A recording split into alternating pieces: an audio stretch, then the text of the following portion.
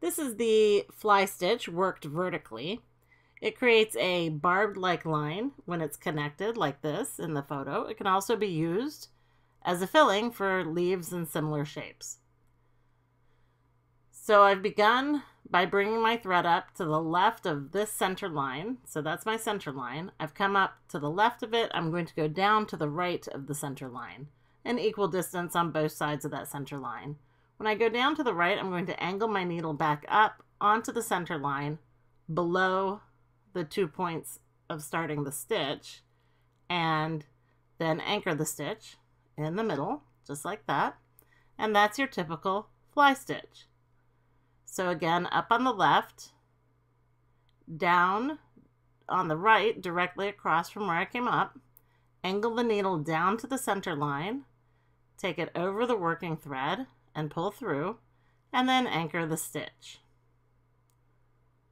Now you can change the look of the fly stitch by changing the spacing between them or even changing the size of the stitch, the depth of the V that's created, and even changing the length of the anchoring stitch. So I'll show you all those options here.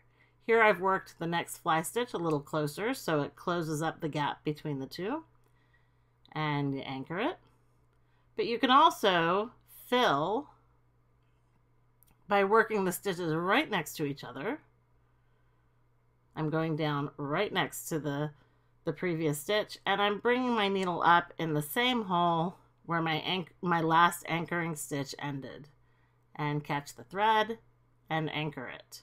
So that's a good way to make a filling for leaves because it creates a spine down the center of the leaf. You can also change the look of the fly stitch by changing the length of the anchoring stitch.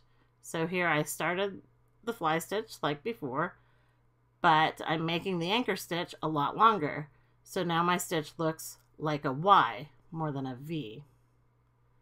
And then you can connect these to work across a decorative line by making your next fly stitch a little bit lower than the previous one, but coming up in the same hole that your last anchor stitch ended and making another long anchoring stitch.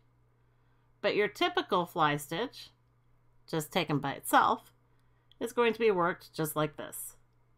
Up on the left, down on the right, up in the center, pull through, and anchor the stitch. So that's the fly stitch worked vertically and for more tips and techniques on hand embroidery, stop by and visit me at Needle 'n Thread.